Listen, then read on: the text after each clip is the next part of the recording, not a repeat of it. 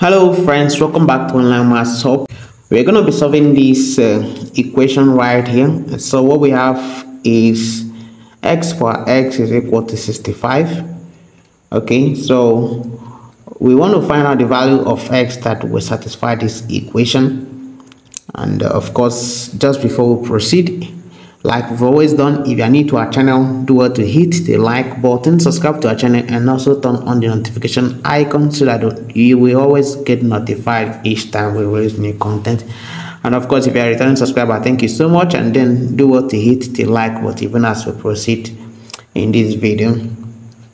Okay so uh, i'm just going to proceed and looking at this equation the most basic thing to do at this point is just to uh, take the uh, natural log of both sides so that I can actually bring down this x right here. So if I do that, I'm going to be having natural log of x power x is equal to the natural log of 65.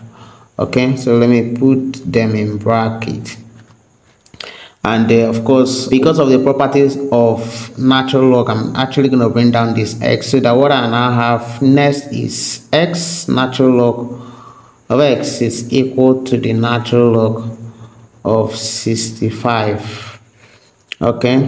And uh, of course what i'm actually going to be using to evaluate this problem is what is known as the Lambert's W function okay it is actually the function that allows you to simplify functions that are in this form okay?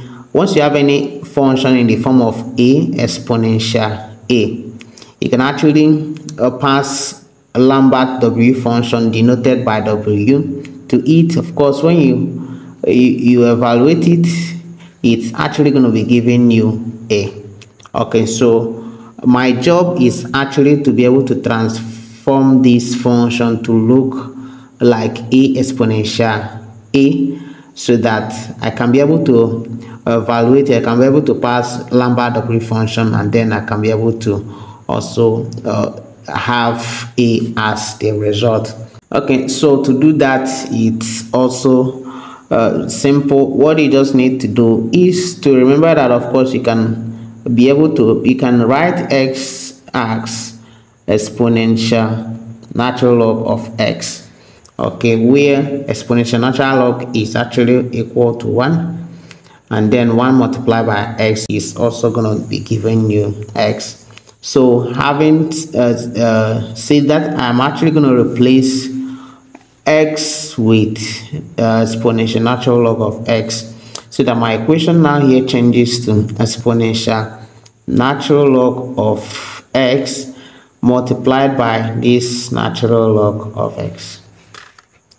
Okay and of course the uh, right hand side still remains natural log of 65 okay so the next thing i'm actually going to do is to bring this natural log of x here so that i have natural log of x exponential natural log of x is equal to the natural log of 65 and obviously you can see at this point that we are now having uh, something we are now having this form this function in form of uh, a exponential a.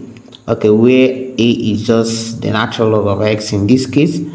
And of course i can now go ahead to pass the lambert w function. So i have lambert w function of natural log of x exponential natural log of x is equal to the Lambert W function of the natural log of 65 and of course this whole side is actually going to collapse. The natural log of x is equal to the Lambert W function of natural log of uh, 65 okay. It's becoming cool. And then at this point the next thing i'm actually going to do is to take the exponential of both sides so that i can be able to eliminate this uh, natural log.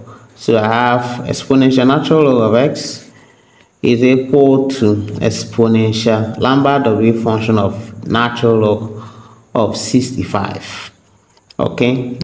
So that if i proceed uh, this exponential natural log of x is 1 and then I'm left with x at the left hand side. And then my x is now equal to the exponential Lambert wave function of natural log of 65 okay so what i'm going to do is actually to head on to a uh, wolframalpha.com and then we are going to be computing this so that we have an approximate or the decimal value of this uh, expression over here. Once you head on to wolframalpha.com you can see you can just go ahead and type in your function right here. Okay so you can see exponential lambert w function of uh, log 65 and then once you're done doing that you can just go ahead to hit the equal to button. And then when you come down here you're actually going to be seeing uh, the uh, the decimal representation of course of the uh, of function right there. And then of course you can see the answer over here. So if I zoom it up you can see that there are a whole lot of uh, values here. Okay so I'm just going to be approximating that.